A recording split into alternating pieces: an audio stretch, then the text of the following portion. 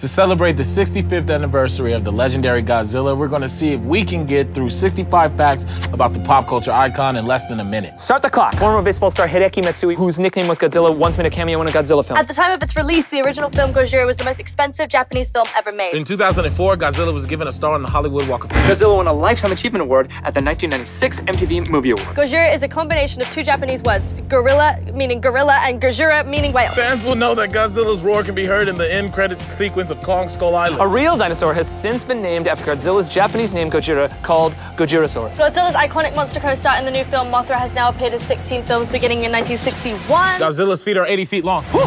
How'd we do? The legend continues in Godzilla King of the Monsters. Ah, I made you look. I didn't even process them, did you? I know every single one. Really? Committed to memory. Yeah, Wow. including the ones I didn't read.